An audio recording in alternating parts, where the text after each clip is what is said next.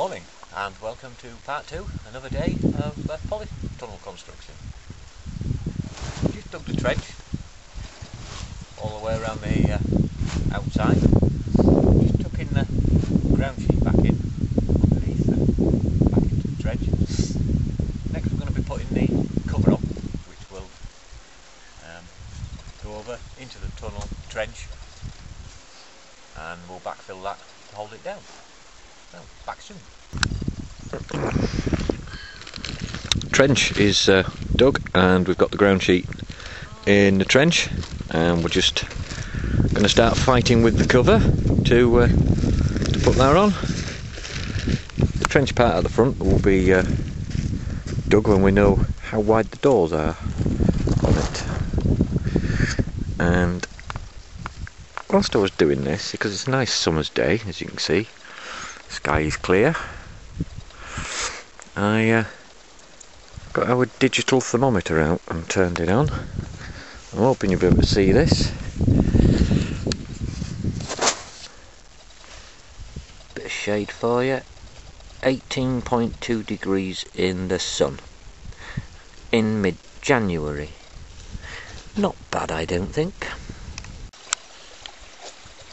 Okay, cover is now on and fastened down to the framework with little ties. We're just going to now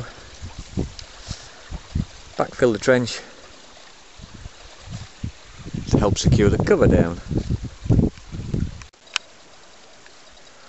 Now, as you can see, the trench is now filled in down the side, along the back, and down the other side. Next, just an extra precaution, oh, it's not windy here too much, but uh, going to peg it down inside with some homemade pegs that'd make a Boy Scout proud. Welcome back after the uh, trench filling in.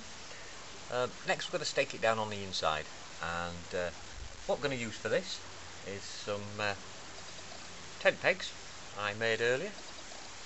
Um, strip the bark off, bit of a point on the end, notch in the top to put some uh, fastenings around it and we're going to use guy rope from old tent that fell apart with the sun. And uh, what I used to uh, fashion these tent pegs with was uh, weapon of choice.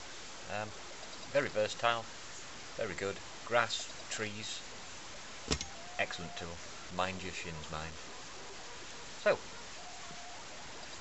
get on with it we are uh, now inside the polytunnel. Uh, all the stakes are down and guide roped in as well, so it's uh, very very solid. There's the peg with the loop adjustment and wrapped around the framework. And there's eight of them, so I don't think it's going anywhere. Plus the soil in the trench as well. Okay. Welcome back. We have now um, fully completed putting the polytunnel up, as you can see. Uh, we've moved a few uh, bits in, a like a bedding table and things, rustic style of course. Um, rigged up a water butt, water tub, uh, a hose pipe, goes into the polytunnel all the way around and I will be connecting at a later date some junctions for um, soaker hoses so that you'll get a constant water feed.